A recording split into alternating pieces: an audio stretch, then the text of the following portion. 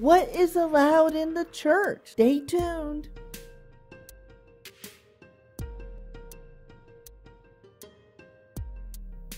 My name is Zeke Matthew, and welcome to Animated Christians. On this channel, we discuss questions about the church as well as original content. Now, I'm not saying all churches or all pastors are like this. I'm just trying to get rid of the mindset that we created the church to be.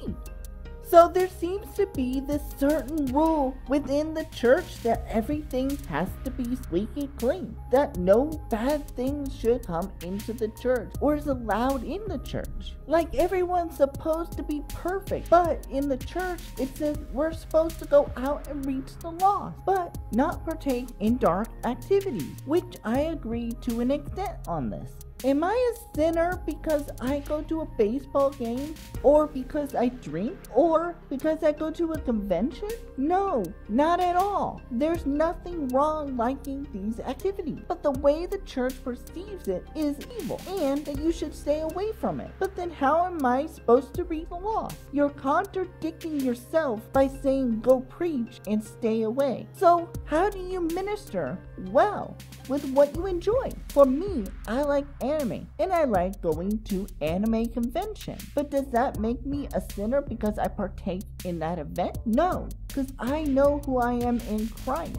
I know another Christian who just dubbed for anime as well. Saying you want to reach the lost, yet don't want to partake in these activities, how are you supposed to go about doing it?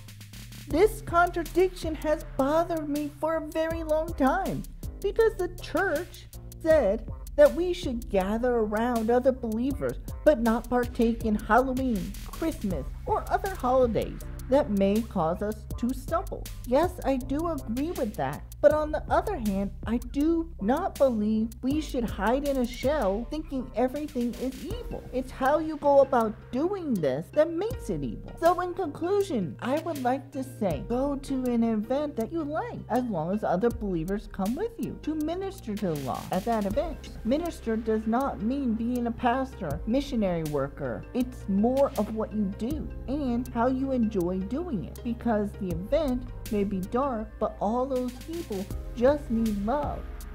So, what does scripture have to say about this? In Matthew chapter 10, verse 16 says, Listen, I am sending you out to be sheep among wolves. You must be shrewd as serpents and as innocent as doves. So, I hope this helps you understand that it's okay to enjoy these things as long as you know who you are in Christ. And join me next Friday where we will discuss testimonies. And never forget, Animated Christians just for you.